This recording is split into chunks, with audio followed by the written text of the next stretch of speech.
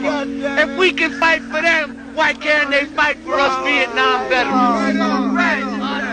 When I went for a job and they sent me to the state employment agency, you know what they told me? Well, I see you have a minor infraction here for uh, uh, uh, uh public intoxication while driving a motor vehicle. So I said, what does that mean? I did three tours over there, two voluntary tours.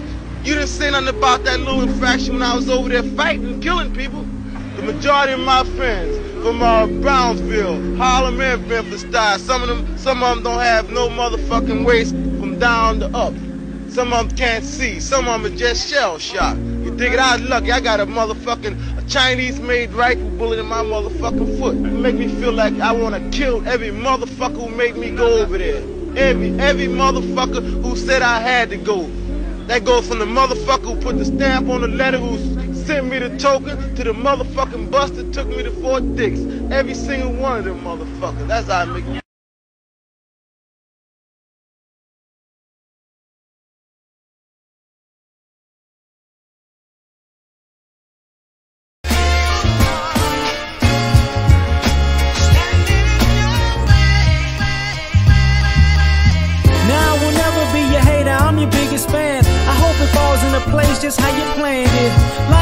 you in a pickle, just make sure it's kosher. Lean on me like Bill Withers until you smell the roses. What's happening, fam? LAR movement still moving. Subscriber died trying. You see the thumbnail. More importantly, you saw the clip. This one is basically Will America Fight for You? So, my grandfather was a Korean War vet. And, you know, we had the flag, you know, we had to fold the flag, all that kind of stuff, right? He had, he had all his military stuff, medals. He had a stroke. He was shell shocked. So, you know, loud noises are like, af- once he had a stroke, he was bedridden. So the loud noises would would mess with him. But as I became an adult, because I was a child then, you know, people started talking about the stories, you know, being in Jim Crow and you know how he came up and and you know my my my my grandmother would have these t- conversations about him.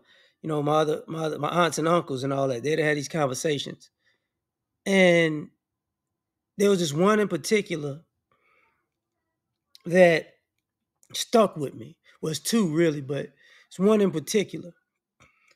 uh, as a veteran, he comes back, gets a job. He he he wound up be, being a uh, working as a baker. Um, gets a job or whatever. Gets a home or tries to buy a home, but at the time, you know, he couldn't get a quote unquote GI Bill and all that other stuff, right? Couldn't do all that. You know, for all y'all who didn't know that, you know, um, when you was black, you know, country didn't follow their rules even in the military. So this white guy, like, look, you know, I'll I'll sign the the get sign the the, the agreement, and when and you and you pay it off, you know, just put it in my name, and, and when you pay it off, I can turn t- turn it over to you. So basically, my grandfather was working and overpaying the mortgage to pay it off and to pay this guy, right? And by the time when my grandfather basically paid it off, the white guy did white guy things, right? You know, uh, it's my house, buddy. You, you, you're a lazy, shiftless snigger. Go somewhere. Kicked him out of the house. Grandmother, you know, with him, you know, aunts, uncles, my aunt, my uncle, mom, and all that, kicked him out. Um, and then it's like, well, what are you doing for these veterans? And and every now and then, I, I I got family that you know Vietnam vets,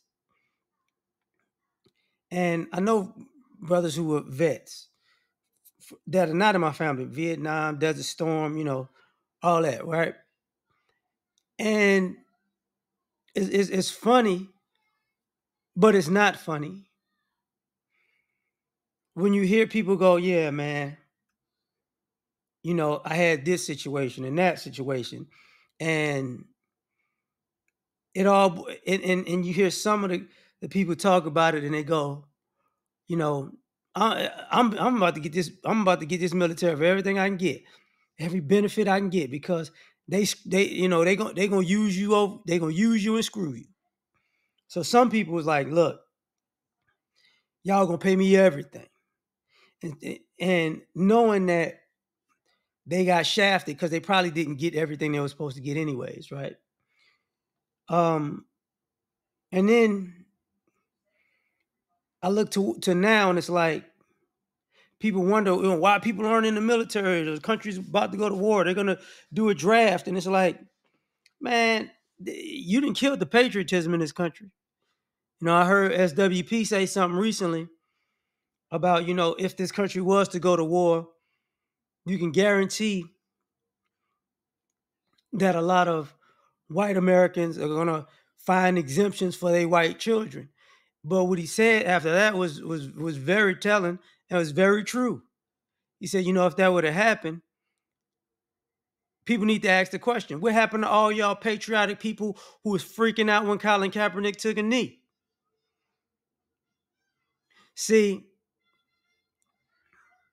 what I learned, you know, and I, when I was young, you know, I could have went to the military. I didn't. I went to college. And one of the reasons I didn't go, because I was like, look, man, this country don't fight for me. You know, I, I think of that um that Muhammad Ali clip that still reigns true today. You know, you my opposer when I want freedom, when I want justice. You know what I'm saying? So when you're looking for patriotism, um, you're not gonna get it. You're not gonna get it. Not no. Because at the end of the day, how this country is ran and, and how in, in the military's history makes it that way. If I'm not mistaken, and I could be wrong, but I believe even even now, it's the same MO where it's harder for you to get a promotion in the military if you black. And the crazy part about it is it's a lot of black folks in the military. You know, they could just, you know, uh, uh if I remember correctly, I used to talk to some of my homeboys that, that, was, that was in the military. Man, you know, you get I couldn't get E5. I got the E6. I got the E7. Yeah, yeah. My, you know, my white, my white uh, guys, they just bump up, bump up, bump up, bump up, bump up. Oh, sergeant, lieutenant. It's like, whoa, whoa, whoa, whoa. I did twice as much as him, and what is this? It's the same, you know, it's the same good old boy system. Now, somebody could tell me I'm wrong, but I'm gonna need somebody who's who's not white to tell me I'm wrong. Because if I remember correctly, that's what they that's what it was on. You know, the, the, guys in the military who had who had the Confederate flags hanging up. And I, and I don't know if it's Nazi flags, but I know Confederate for sure. It, it's so weird that I was watching a movie recently um about what was that? What, what was that? I think it was Iraq. It made a military movie about Iraq and guys looking for generals. I forgot. I just saw it like two weeks ago. And in one of the scenes, they panned because they was on a military base, and the guys were talking, and when it, and they panned while they was talking to the guy, and you can see in the background the Confederate flag hanging up. And I tell my wife, I said, you, you need to pause and see that.